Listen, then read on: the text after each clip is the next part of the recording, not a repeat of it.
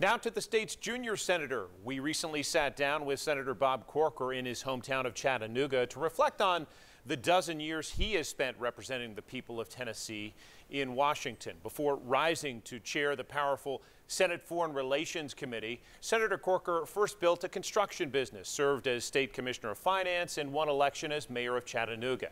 His Senate career started in 2006 do a lot better than. than a vast than, collection of photos only begin to document the history Bob Corker helped write during his 12 years serving in the United States Senate. So what do you see as the hallmark of your time in Congress? I, I don't know that I could even do that right now, John. I, I, I came in during the surge in Iraq. It was a heady time for a new senator uh, who'd been the mayor of a city spent a lot of time at the White House. Then we had the financial crisis, and uh, for some reason I played an outsized role in coming up with a solution there. I got a call at 10 o'clock one night to join uh, two other Republican senators, Hank Paulson and Ben Bernanke, and some other legislators to, uh, to, to, to, you know, at one point we thought money wasn't going to come out of the ATMs on Friday when people were cashing checks. So uh, then I went through the auto crisis, if you remember, mm -hmm. and uh, voted against the bailout. Didn't like that. Well, idea. no, that that that actually that's that's uh, the narrative. I'm glad you asked. I was actually the only Republican senator seeking a solution. Yes, we voted against what.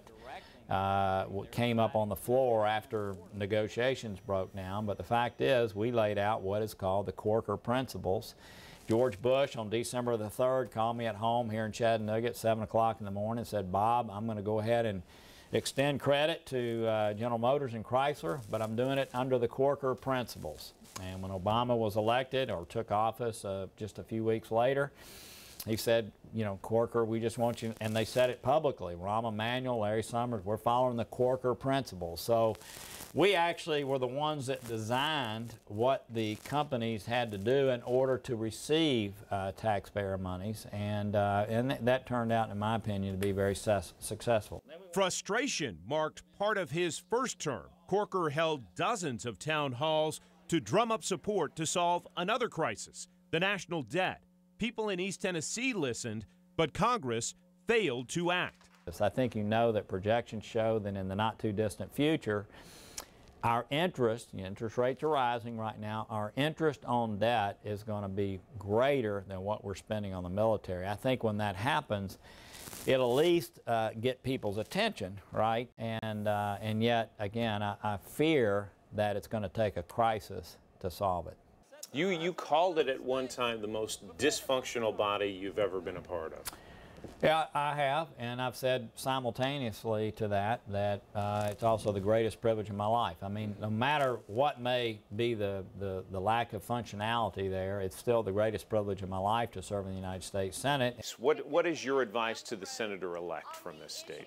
I would say to her, um, still, she's going to be low on the totem pole as it relates to seniority. And I would just really focus on being the expert in, in, in a few topics. And what generally happens is uh, you'll be called upon uh, when the time comes for us to deal with those particular areas that, uh, that you focused on. Your advice to President Trump?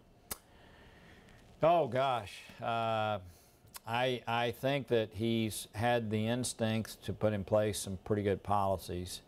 Um, in, in some cases. I think that uh, if there was any way for him to, to realize that throughout our nation, uh, certainly throughout our great state, but throughout our nation, we have people of virtue, uh, people who truly care about their neighbors and fellow citizens. And if he could ever bring himself to try to focus on bringing out the better angels of our country, um, he'd have a lot more success and have a lot greater ability uh, to, to bring the nation together and solve problems. A problem solving statesman.